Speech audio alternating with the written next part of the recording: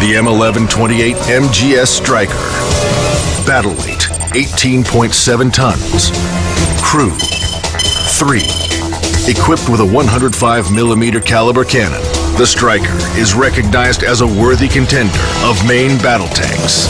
The Stryker and several variants first entered service in the U.S. Army in 2003. The superior design of this platform allows for the flexibility needed to get the job done while cutting costs of maintenance and repair.